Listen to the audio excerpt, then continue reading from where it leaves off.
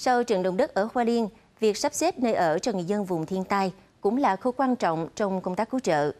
Trong các trạm sơ tán ở Đài Loan, được Quỹ Tử tế cung cấp cho những chiếc lều làm bằng vật liệu tái chế, tiện lợi là đảm bảo không gian riêng tư, còn có đầy đủ nhu yếu phẩm và thực phẩm rất chu đáo.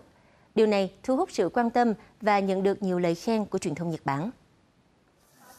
Tình nguyện viên tư tế chỉ mất một phút để dựng xong chiếc liều hình khối. Chiếc liều này được làm từ nhựa tái chế. Cả giường gấp và chăn cũng được làm từ loại vật liệu này. Liều có khả năng thông gió tốt và đảm bảo tính riêng tư, giúp các hộ dân bị ảnh hưởng bởi trận động đất ở Hoa Liên có thể tạm thời nghỉ ngơi một cách thoải mái.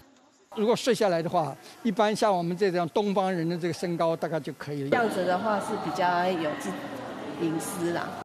Thiết kế này có tên gọi là vách ngăn Phúc Huệ. Ý tưởng thiết kế xuất phát từ chương trình hỗ trợ sắp xếp chỗ ở cho người dân trong trận động đất ở Hoa Liên năm 2018. Khi đó nhận thấy nhiều người cảm thấy không thoải mái và khó ngủ trong không gian mở. Vì thế, thực tế đã thiết kế loại liều này không chỉ để phân chia không gian mà còn có khả năng chống cháy. 室内做隐私区隔，然后隐秘空间也可以增加家人之间那那份的情谊的互动。啊，这是当时我们设计啊，主人就提到安全的考量。 Hình ảnh này đã thu hút sự chú ý của các hãng truyền thông Nhật Bản, đồng thời đưa từ khóa trại sơ tán ở Đài Loan lên vị trí số 1 trên mạng xã hội Nhật Bản. Cư dân mạng của Nhật Bản còn đăng tải hình ảnh so sánh, cho thấy trong khi người Nhật chỉ có thể nằm trên những tấm bìa cạc tông sau trận động đất gần đây ở Noto, thì Đài Loan có liều trại đảm bảo không gian riêng tư, cung cấp thức ăn nóng và đầy đủ đồ dùng thiết yếu. Ngoài ra, Hội chữ thập đỏ cũng cung cấp liều trại trong nhà và ngoài trời cho những người dân lo sợ dư chấn đến trú ẩn.